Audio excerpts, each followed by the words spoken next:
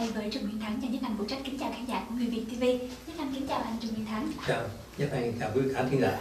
Dạ, thưa anh thì hôm qua anh có dịp được coi lại cái bộ phim The Lord of the Rings thì bộ phim mà được giải Oscar năm 2003 thì ờ, trong lúc mà coi cái bộ phim đó thì thấy cái khung cảnh bối cảnh của bộ phim đó là rất là đẹp là có đồng cỏ có rừng dãy núi mà nhìn thiên nhiên và nhìn rất là nên thơ và hùng vĩ nữa thì cái đất nước đó như anh được biết là người ta bộ phim đã được quay ở New Zealand thì tự nhân dịp cái đến với chương trình ngày hôm nay thì hôm nay anh Thắng có thể chia sẻ về New Zealand được không anh Thắng? Được, Nhất Anh.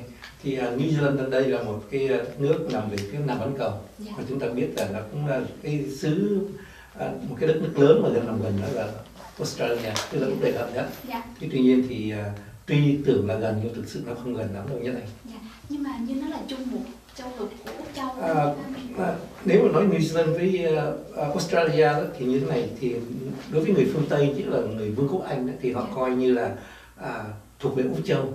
Thế tuy nhiên đối với những người mà thuộc dân ở bên New Zealand đó, cái người thuộc dân đó người ta gọi là Maori. Dạ. Thì cái người thuộc dân đó thì người ta nằm trong cái gọi là cái gọi là Polynesians, tức là đa đảo. Dạ. Tức là những người à, từ Hawaii cho đến Fiji, cho đến Samoa, cho đến à, New Zealand, nó là chung một cái gọi là đa đảo. Polynesians. Dạ. Còn thủ đô của New Zealand là ở đâu anh Thắng? thủ đô của New Zealand thì là Wellington Dạ. nó nằm ở cái cái phía à, nói chút xíu là New Zealand chia làm hai cái đảo nó gọi là đảo Bắc và đảo Nam Dạ. à, thì Wellington là thủ đô thì nằm ngay cái à, phía nam của cái đảo Bắc Ừ. Dạ. Thì bây giờ trước tiên thì mình nói về cái đảo Bắc trước đi là North Island hả anh? đúng cái Thì- là đảo Bắc. Thì North Island thì có cái gì ở đó anh? Thắng? À, New Zealand là một cái à, đất nước mà tôi cho là cái về cái thắng cảnh thiên nhiên rất đẹp mà như lúc nãy à, Nhất Anh có dịp nói về một cái bộ phim đó à, quay ở New Zealand. Nhưng thực sự bộ nhiều bộ phim đã được quay ở New Zealand. Dạ. thứ nhất là vì cái thắng cảnh thiên nhiên của à, của cái đất nước này. Cái thứ hai là nó có nhiều cái không gian về thiên nhiên và đồng thời nó có những cái điểm văn hóa rất là đặc biệt tức là văn hóa của đất nước New Zealand đó thì nó là thuộc về của những người à, bộ tộc à, Maori.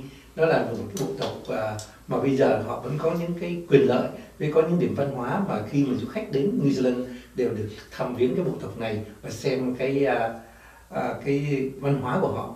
Đặc biệt là cái cái điểm mà đặc biệt của cái đảo Bắc đó là cái nơi Waitangi đó là một cái thành phố nhỏ nhưng nơi ở đó đó nó là cái gì Ờ, ký một cái hiệp định giữa ờ, người da trắng của Vương quốc Anh và các bộ tộc của Maori để coi như thành từ đó họ thành lập ra cái gọi là đất nước New Zealand. Dạ. Ừ. Thì ờ, trong cái đó thì ngoài những cái mà anh Thắng vừa mới nói thì lúc mà du khách có dịp được tới thì sẽ được đi đâu thêm ở trong North Island nữa À, nói về cái đảo Bắc thì ờ, nói chung là về New Zealand cái thành phố lớn nhất của New Zealand đó, thì người ta thường biết đến là thành phố Auckland.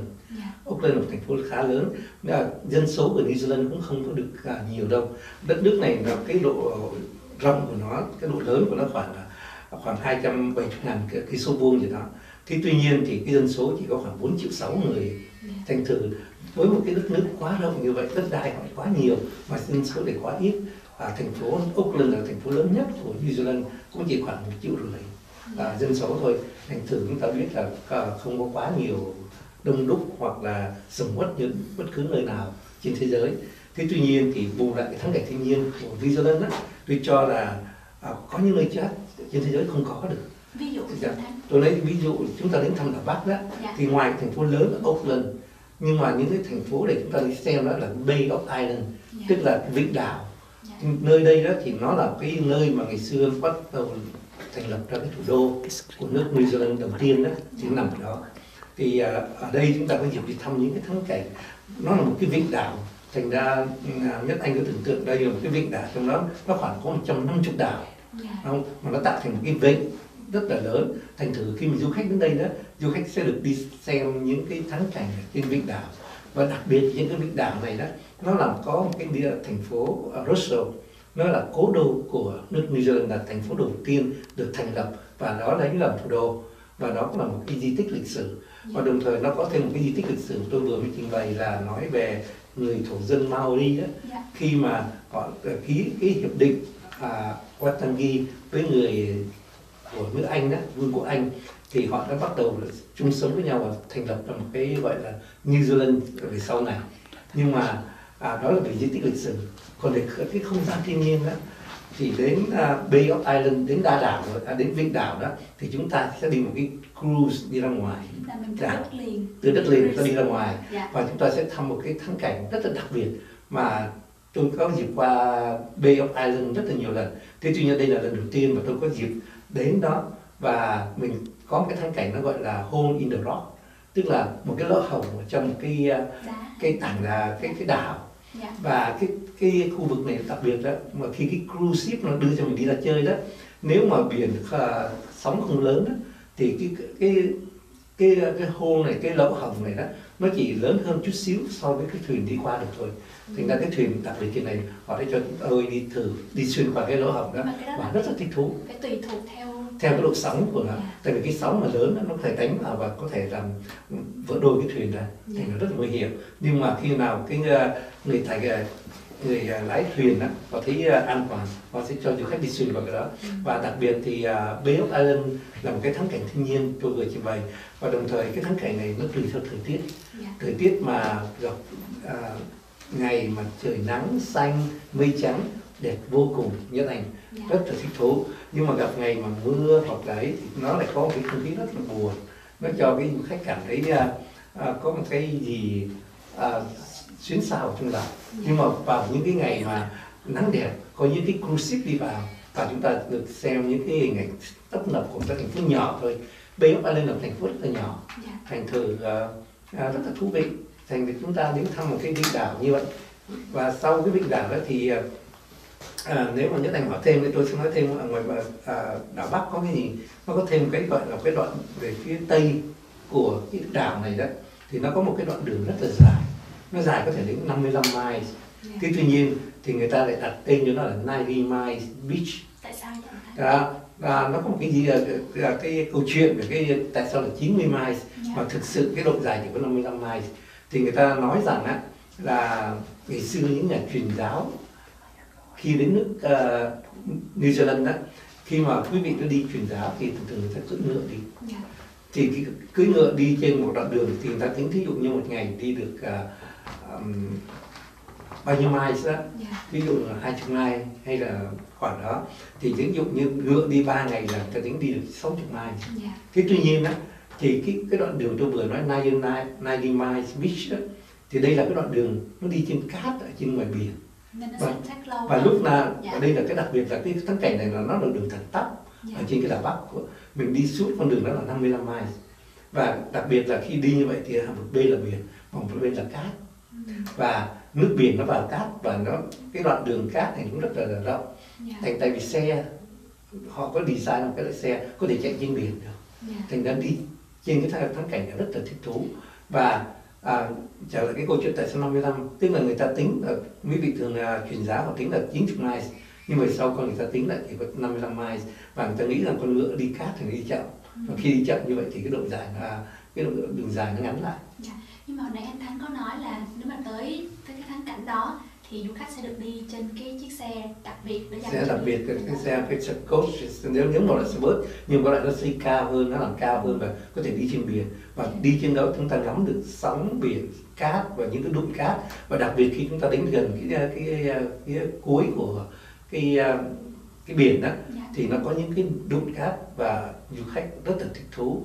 Là sẽ được đem những cái ván lướt lên trên đỉnh cao và trượt xuống và quý vị khán giả có thể xem những cái đoạn video clip mà chúng tôi có dịp à, thu hình lại để cho quý vị có thể xem cái hình ảnh của Nadimai Beach với lại cái gọi là cái đụn cát ở ngay à, đảo Bắc New Zealand. Dạ.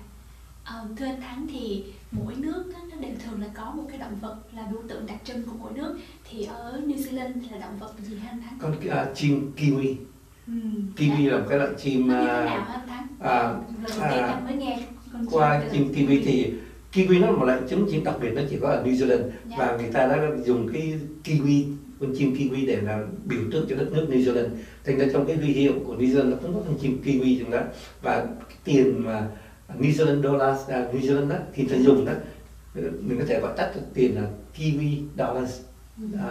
thì con kim uh, kiwi là con chim nó rất là đặc biệt là cái mỏ nó khá dài Dạ. nó dài bằng một phần ba người của nó và cái mỏ này trên cái mỏ có thì cái mũi nằm trên mỏ Ừ. À, Dạ. và cái loại này thì người ta nói rằng là nhờ cái loại chim này nó thành ra ở đất nước New Zealand nó không có loại bò sát nó không có rắn thậm chí bây Dạ. giờ cũng không bây có. giờ cũng không có rắn Dạ. Đó. thành ra đi bên New Zealand không có sợ bị rắn đâu Dạ. Dạ. ai mà sợ Dạ. rắn thì đi New Zealand không không sợ thì uh, con chim kiwi nó là một cái biểu tượng thành ra khi chúng ta đến nơi thì chúng ta có thể đi vào những cái uh, khu vực như là mấy cái uh, cái zoo cái sở thú đó chúng ta có thể thấy được những con chim kiwi hoặc là vào những cái gift shop đó người ta bán và có một số những gift shop người ta dùng những con uh, chim kiwi thật nhưng mà nó đã, đã chết và người ta dùng để để ta nhồi lông ở trong đó thành ra trông nó như thật vậy đó thành ra cũng là một cái uh, điểm thích thú Dạ. Ờ, thì nãy anh Thắng có nói tới cái bộ tộc Maori đó đó thì anh Thắng có thể nói thêm một chút xíu về cái bộ tộc đó không? Mà lúc mà du khách tới thì du khách sẽ có những cái những cái hoạt động nào mà có thể tìm hiểu thêm về cái bộ tộc đó anh Thắng? À, Maori là một cái bộ tộc ờ, chúng ta đến New Zealand mà chúng ta không tìm hiểu với cái văn hóa của Ma- Maori mà không xem những cái ờ, cách ờ, những cái trình bày về văn hóa cũng như những cái, cái đặc thù của cái bộ tộc Maori là thực sự là một sự thiếu sót Dạ. tại vì đất nước New Zealand nó cũng khá đặc biệt là người ta nghĩ rằng ấy, khoảng một ngàn năm trước là không có con người ở đó Dạ. đó. về sau vào những cái thế kỷ thứ ờ, thứ 9, thứ 10, 11 gì đó thì con người mới bắt đầu từ đa đảo từ những cái đảo khác được ờ, bắt đầu mới đến New Zealand và bắt đầu lập nghiệp ở đó. Người ta tin rằng ờ, những người thổ dân từ trên Hawaii đi xuống từ Fiji đi qua hoặc là từ bên Đài Loan đi qua nữa Dạ. ở bên ờ, Đông Nam Á đi qua và đã lập thành một cái đất nước New Zealand. Và khi đến đó thì họ biến đổi thành họ trở, trở thành cái bộ tộc Maori.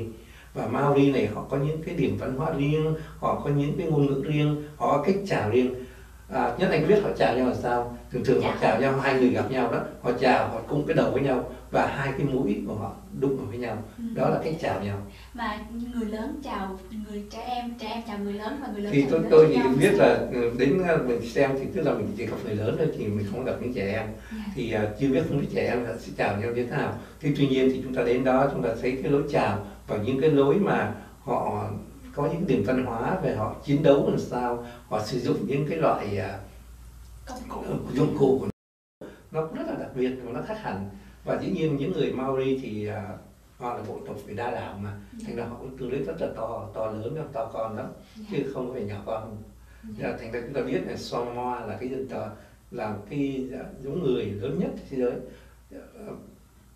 nhất anh có thể tưởng tượng là một đứa bé mà cái do mà bà mẹ Samoa sinh ra đó Dạ. có thể nặng đến à, 10 10 bao hay hơn nữa khoảng 15 bao Dạ. thành ra một đứa bé sơ sinh đã nhỏ sinh ra đã, đã lớn như vậy rồi họ, họ có những cái điệu vũ và đây là những cái điệu vũ dân tộc của chúng tôi có dịp được ghi hình lại để cho quý vị có thể à, thưởng ngoạn một cách à, à, nho nhỏ ờ, chút xíu về cái văn hóa của Maori ở tại New Zealand và cũng quên nói thêm với Nhất Anh đó ngoài cái chuyện mà chúng ta đi thăm uh, Bay of Island chúng ta đi thăm uh, 90 Miles Beach chúng ta phải đi thăm một cái cái gọi là cái cực bắc của cái đảo Bắc tức là coi như cái biên giới uh, phía Bắc cái xa nhất của nước New Zealand Là mình đi bằng bằng phương tiện nào đi, mình đi xe coast lên đi xe bus lên Dạ. và cái cái cái mũi đất đó thì nó có tên là Cape uh, Reinga.